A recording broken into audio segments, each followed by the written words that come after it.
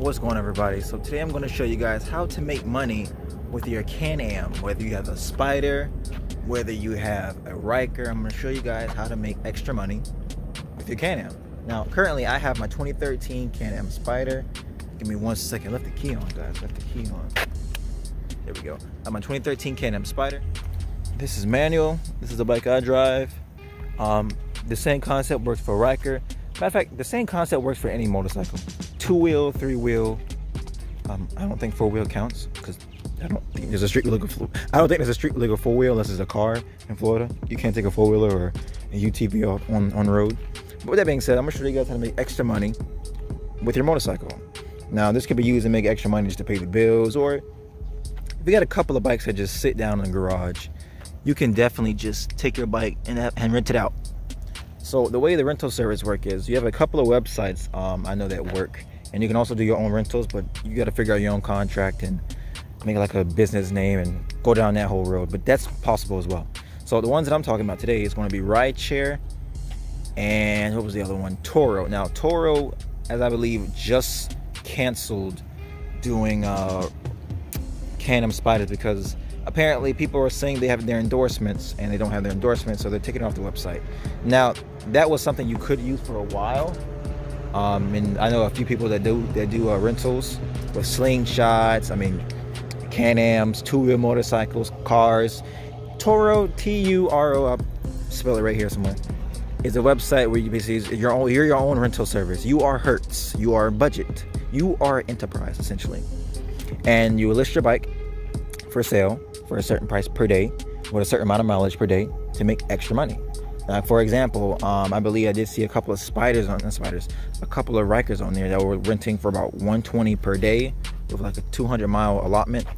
So that's a hundred something dollars a day minus Turo's fee will probably leave you about like 80, 90 bucks, give or take. I don't know the math, but I know they take out a little percentage for listing it and you know fees and stuff like that. But uh, I do think they take out about 15%, 15, 18%, something like that. So it's nothing too crazy. Um, like I said, so if you have a bike that's sitting down in the garage for a while, you can definitely just take it out and list it on Turo, take a couple of photos, have people rent it, and you go about your way.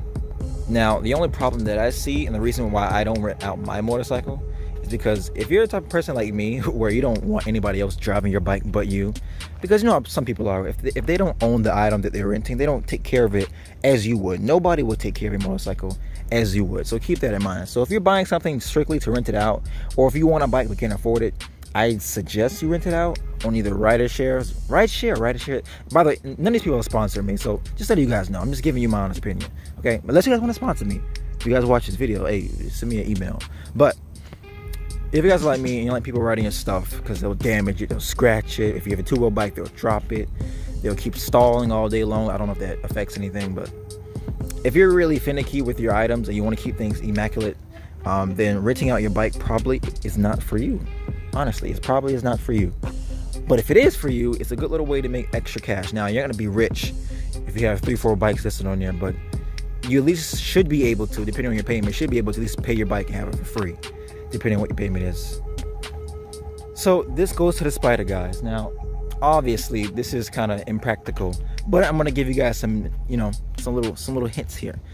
If you bought a record, not record, sorry, if you bought a Spyder and you cannot afford a Spyder, you're probably thinking to yourself, how do you afford a Spyder? Because Spyders are about twenty to thirty thousand um, dollars, new or if it's used, lightly used. But you got to think if you can get them right, right, right around uh, fifteen grand if they're twenty thousand miles, thirty thousand miles, something a little higher up in the mileage. But uh, if you bought a Spyder and you know you can't make your payments, you could also try delivery. Now you're probably thinking yourself, Chris, how you gonna do delivery with a Can-Am? No, you can't take pizza boxes and stuff. But look at the amount of storage you guys have. Hold on, let me show you guys this. There's so much storage here. Now, this is only just suggestions. I'm not telling you to take your to go buy a Spyder and go rent it out. But look at the storage you have. Your storage here for groceries, or I don't know if you're doing Postmates, you're picking up burgers or whatever. Instacart is another one. You got storage there. You got storage here. So, or maybe this is your little transportation. This is your little. Let me save some gas and let me do some deliveries or something. It's possible. All I'm saying is it's possible. I'm not suggesting it. I'm just giving you guys ideas if you need it. For some people, they might have bought, spent all their money, let, literally the last dime and dollar they have this bike and they're just trying to make payments. So this is just for the people who need to make payments. You could do delivery with it. It's practical. Um, if it rains, um, you're screwed. But other than that, let me see, it's fine. You'll save money on gas. I mean, like for me, I have a truck. So anytime I take this bike out, I am definitely saving money. I am definitely saving at least forty dollars a week if I if I if I save this, if I drive this like two or three days. So that's another idea to make extra money where you can. Um, if you can't afford it, or if you just want to do deliveries, you simply want to go out to ride and you're retired and you're chilling. Hey man, let me go do a little Instacart, a little Publix shopping. If it's a small order, so nothing that can't exceed your limits. Obviously, you get stores there, there, and there. So if it can fit within there, I don't see why you can't take this to do some little grocery shopping. Now, I do believe you can only put up to 25 pounds in the front cargo and about 20 pounds in the back cargo. Saddlebags, I don't think have a limit, but I'm assuming it's the same as the top one. So 20, 20, 20, and 25 up front. So keep that in mind. I wouldn't put no cases of water. Well, actually, it wouldn't fit in anyway, but I wouldn't put no big case of water or anything, bricks, and taking this to Home Depot to grab some cinder blocks. It's, it's not made for that, guys. It's not a UTV. But you can't use it for deliveries, so that's another option for you. And the third thing I suggest about making money with your Can-Am Spyder is the number one way I use my Can-Am Spyder to make uh, extra money, and that is start a YouTube channel, guys. I don't care what you started off started off with. I'm currently using my camera, and I've been using my camera since 30 subscribers. So you see, you guys see where I'm at now as far as subscribers. Uh, now, with that being said, I am going to upgrade for those of you who've been saying, "Hey man, upgrade your camera." Work, work, calm down, guys. This is a business, okay? When I make more profit to buy an extra camera, I will buy another camera. But yeah, please start a YouTube channel, guys. You don't understand how things on YouTube works. Honestly, there's so much money you can make on YouTube. It's it's really it's it's, it's insane. So if you're like Chris, I don't know what to record with my Can-Am Ryker. Let me tell you what you do. Hold on. First of all, guys, whether it be a Can-Am, it could be a Spyder it could be a Ryker, it could be a MTL7, it could be a two-wheel, a Harley, a cruiser, a sport bike that's what you need to do. Grab yourself a bike. That's number one on the list. Number two, grab yourself a helmet. Boom. Three, grab yourself a GoPro, guys, and get yourself a little GoPro mount. This GoPro mount came off of Amazon, and it's been serving me well, guys. It's honestly been serving me well. Because with YouTube, just I just feel like certain people just end up blowing up from two or three videos off a phone. That could be you. Honestly, that could be you. You can record a video today saying, "Hey guys, this is my Can-Am Spyder. I bought it for this much money, and blah blah blah. I drive here, blah blah blah blah blah blah blah blah blah blah blah blah blah." Boom, one million views, thirty thousand subscribers. It's literally it could be an overnight success story. It could be. Now, now I'm not telling you that if you make a YouTube channel, you're gonna blow up instantly. That's not what I'm saying. What I'm saying is a chance that you could.